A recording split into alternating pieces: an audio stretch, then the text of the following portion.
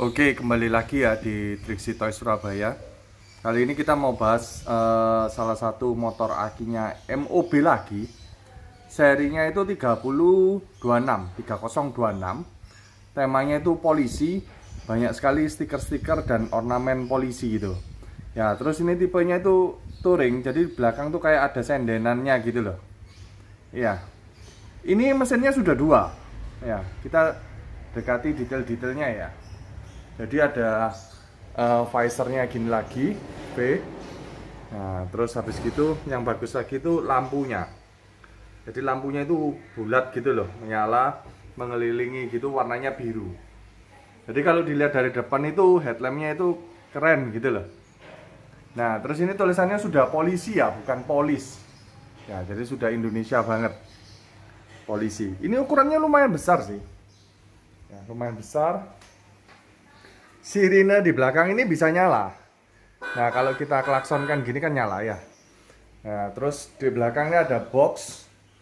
Box ini juga sudah bisa dibuka, ya kan? Nah, ini sambungannya apa namanya sirine tadi. Sirine yang ini ya lampunya ya. Nah, ini kita lihat kan dari samping ya. Dari samping sudah ada roda bantunya juga. Akselerasi eh, pedal injak itu ya yang putih-putih itu terus ada klakson dan klakson dan musik ini tinggal ditekan aja. Ya. Nah ini tipenya 3026 ya 3026 kan kelihatan ya ada serinya. Kemudian ini ada apa namanya gearboxnya sudah dua. Yang ini sebelah kanan ya kelihatan ya. Terus ini yang sebelah kiri. Ya. Aksesoris aksesorisnya ini bagus sih polisi banget.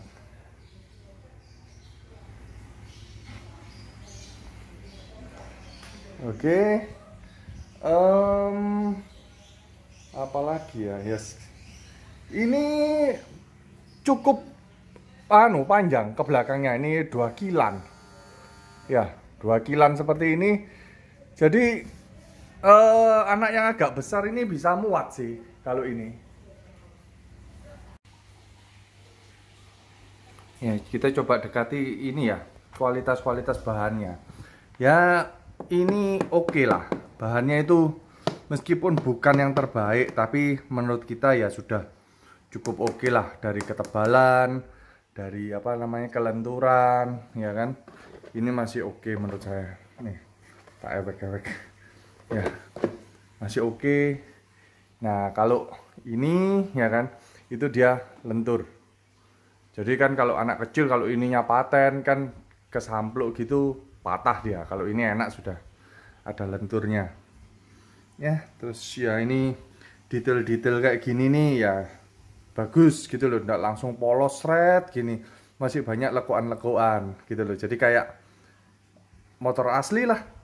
Keren gitu loh. Cuman ya kalau banyak lekuan kayak gini otomatis kalau kotor ya bersihinnya harus lebih telaten ya. Oke. Terus kemudian putihnya ini juga anu sih putihnya lumayan deep. Kinclong putihnya ndak. Putih meleketek itu ndak. Ya kinclong. Nah ini loh. LED stripnya kelihatan ya kalau sudah saya matiin tuh loh. Jadi mengelilingi lampu bulat gitu loh. Terus reflektornya kelihatan kan ya Nah, terus ada aksesorisnya itu disc brake ya kan. Bagus ini. Uh, ini kita jual satu juta tiga ya. Lumayan besar sih. Uh, untuk harga segitu termasuk gede nih. Nah, ini tempat ngecasnya ya. Ada tulisan charging itu ya. Nah, dimasukkan sini aja dicolokkan. Ya, dua-dua sudah bisa dibuka boxnya. Ya kan? Mungkin kalau anaknya mau pergi beli pentol ya. Pentolnya taruh sini. Ya. Nah, terus ini chargernya kayak gini. Chargernya kayak gini. Ini sudah ada indikatornya. Tinggal dicolokin aja. Uh, 8 sampai 10 jam aja cukup. Ini sudah bisa ngecas. Ya. Terus bagi yang sering tanya apa namanya ini motornya ada remote nggak? Ya ini kita jelasin sekali lagi ya. Untuk motor ya kan ada sih satu dua tipe yang menggunakan remote, tapi kita tidak pernah rekomendasi uh, untuk motor itu pakai remote. Karena apa? Asumsinya kan kalau naik motor belum di remote itu kan berarti nggak bisa kendalikan sendiri. Kalau nggak bisa kendalikan sendiri mending jangan remote karena terlalu berbahaya. Karena apa? Bisa jatuh nanti. Ya. Karena kalau motor ini tidak ada sabuk pengaman. Kalau jatuh langsung pluk gini. Kalau mobil itu kan sambil duduk ya kanan kirinya kan ada pembatas jadi tidak mungkin bisa jatuh. Kalau motor pakai remote itu berbahaya sekali. Ya jadi kita meskipun ada kita tidak pernah rekomendasikan. Ya saya rasa cukup ya dari kami dari Trixie Toy Surabaya. Ya semoga bisa menjawab pertanyaan-pertanyaan dari teman-teman. Ya minta tolong di subscribe ya. Minta tolong di subscribe dan tombol like nya ya teman-teman ya. Tombol like dan subscribe. Terima kasih